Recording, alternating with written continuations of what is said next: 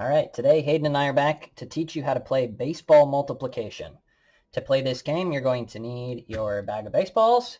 You're going to need a 10-sided die. I think the ones I have at school look different, but they have 10 sides too. and some runners. So to play this game, basically we're just going to play baseball. And we're going to decide who's going to pitch first and who is going to be a bat first. Which one you want to do, buddy? Pitch. Pitch. Okay, so I'm going to take my first runner and put him up, and I will be the red team, so you're going to be blue. And I'm going to have Hayden shake up this bag and pull out a ball.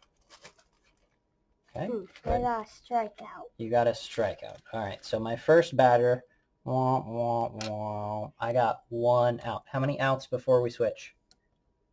Three. Three outs before we switch. So I'm going to take this strikeout and set it to the side. So let me try again here. Hopefully I don't strike out all the way. And do one more. Times six, three bases. All right, so the one he pulls out says times six, and if I can solve this problem, I get to have my runner go three bases. So what am I going to multiply times six? Let's roll my dice. All right, I rolled a six. So six times six? 36. 36. Hayden knows what it is. So since I got my answer right, and Hayden checked me, I get to have this runner go one, two, three bases. He's on third base. Now my next runner is going to come up to bat. I don't have any points yet because I haven't gotten anybody home. Next runner up to bat. All right, Hayden, go ahead and pitch another ball.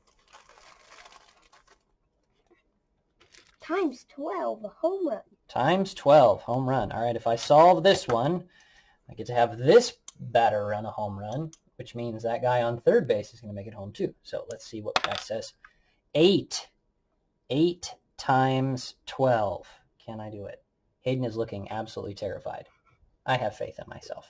8 times 10 is 80, and 8 times 2 is 16. So the answer is 96.